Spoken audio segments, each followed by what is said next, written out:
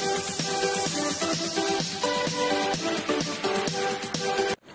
Zee TV की popular and आप सभी की फेवरेट शो कुंडली भाग्य से जुड़े एक नई अपडेट में लेकर आया हूँ। जी हाँ, दर्शकों रिपोर्ट्स के मुताबिक आने वाले एपिसोड्स में आप देखेंगे कि शो में दिखाया जाएगा कि जो अर्जुन है, वो अपने एक्सीडेंट का इल्ज़ाम लगा देगा। ऋषभ और प्रीता पर, जी हाँ, दर्शकों, उन दोनों को ठहरा देगा वो पुलिस के सामने जिम्मेदार। अब ये देखना बेहद दिलचस्प होगा कि आखिर कौन है ये अर्जुन और क्यों पंगा ले रहा है ऋषभ और प्रीता से।